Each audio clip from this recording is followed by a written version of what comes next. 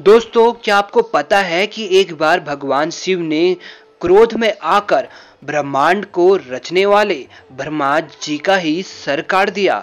जी हाँ दोस्तों, जैसा कि आप जानते हैं, हमारे हिंदू धर्म में तीन प्रधान देव माने जाते हैं, ब्रह्मा, विष्णु तथा महेश। जिसमें ब्रह्मा को संसार का रचयिता बताया गया है तो वहीं विष्णु पालन करता है, तथा महादेव शिव संसार के संहारक हैं।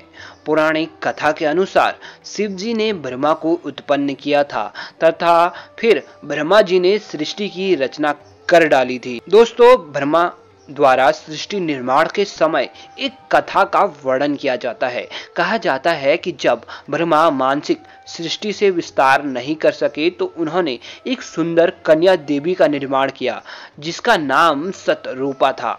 सतरूपा को सरस्वती, संध्या या ब्राह्मी सहित विभिन्न नामों से जाना जाता है।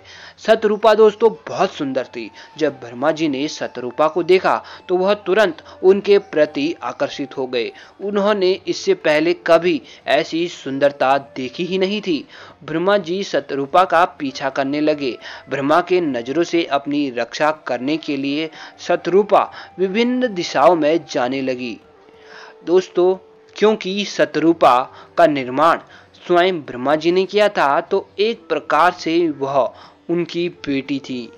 परंतु फिर भी ब्रह्मा जी जहाँ भी देवी शत्रुपा जाती, उन पर नज़र रखने के लिए ब्रह्मा जी उस दिशा की ओर ही चल पड़ते। इस प्रकार उनके हर दिशाओं में एक सर उत्पन्न हो गया। ब्रह्मा के पाँच सिर हो गए। हर तरफ़ एक सिर और पांचवा सिर चार सिरों के ऊपर विकसित हो गया।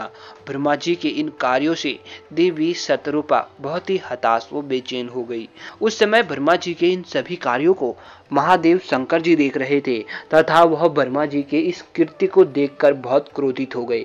तथा उसी पल ब्रह्मा जी के समीप प्रकट होकर उन्होंने ब्रह्मा का पांचवा सर काट दिया, तथा उन्हें श्राप दिया कि शत्रुपा तुम्हारे द्वारा उत्पन्न की गई है, इसलिए वह तुम्हारी पुत्री है। इस तरह शत्रुपा पर नज़र डालना अत्यंत गलत है।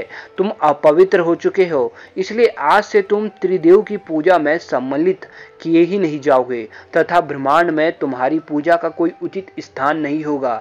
इस घटना के बाद ब्रह्मा ने हर मुँह से एक वेद का पाठ किया, तथा अपने पापों को कम करने का प्रयास किया।